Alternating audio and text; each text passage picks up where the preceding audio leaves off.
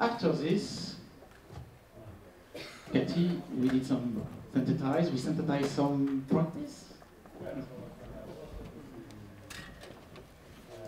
So as well as uh, the solutions that we already had in our different countries, which we shared between each other, SheepNet also developed uh, some fact sheets, some solutions of our own by looking at the literature and synthesizing that, collating information, putting into a format that we could share with everybody. So in the lifetime of the project, we have made 22 fact sheets, and they're all on our website here. So if you, I'm sure you're on the website all the time, um, but if you go there, you will find them, and um, there'll be the information there. So I'm not going to go through all of them, you'd be pleased to know, but I'm just going to give you a few examples. So this is a, a, a fact sheet about genetics and management of ovulation rate. So uh, a lot of the information here is placed in a nice format, so easy to read. This is about giving information and raising awareness. You remember Claire talked about different ways that we, uh, we can provide information, different sorts of solutions. So this solution is uh, giving the underlying information about why we might use genetics and how we might use it on the farm. How can we implement that in different ways? This is another uh, fact sheet, and this one gives a little bit more practical information. So it's looking at rotational grazing, gives some information about how, uh, how why you might want to do that, and then some practical information about how this could be implemented. How could you use this um, in, in your farm? So it's uh, partly awareness, but also some uh, potential to, to go away, some methods to go away and use this.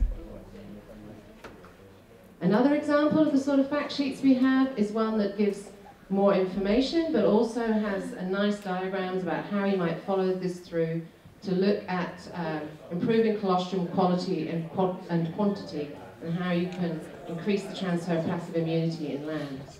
So there's different bits of information about why it's important, how you can change things to, um, to bring about um, differences in quantity and quality, and some of the main scientific findings from the work that's been done over the last few years into context for how it might be applied on farm. Just a final example here, and this is uh, once very close to my heart.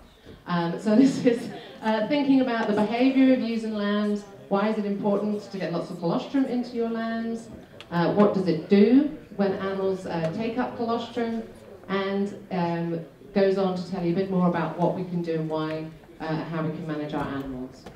So this is just an overview of all the fact sheets. I don't expect you to read them all, but um, you can see there's lots of different things in here about feeding animals, adopting, uh, managing new maternal behaviour, rotational grazing, mineral status in sheep, um, udder morphology, and much more. So I'm sure that's probably whetted your appetite to get onto our website and find out a bit more.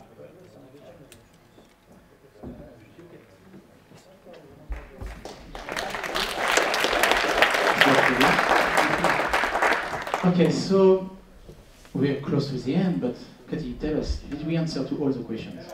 Well, no, Jean-Marc, oh, not. Oh. we got close, but not quite.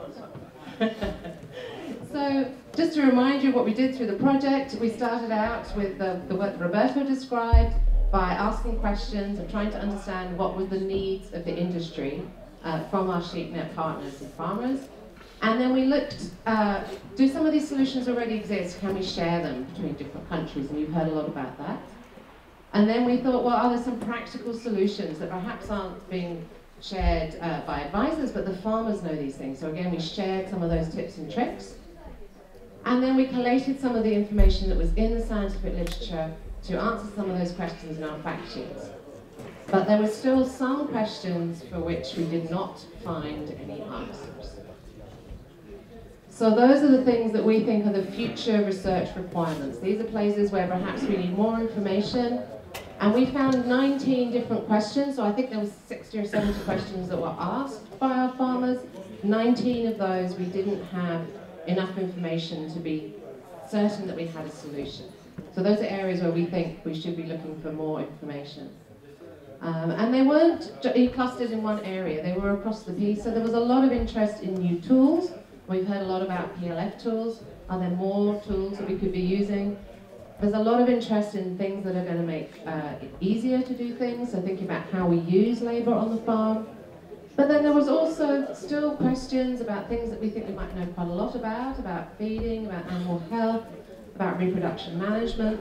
But as we become more efficient or as we start to ask more complicated questions, we realise we don't always know all the information that would allow us to address all those questions. And finally, if we think about the genetics, the breeds, the sort of traits that we might want, the sort of environments that we might put sheep in, and how those things interact, we realise that we still don't know enough about how different breeds might cope in different environments, or different sorts of genetics that we might want to achieve different sorts of outcomes. So there's still more work to do for sheep.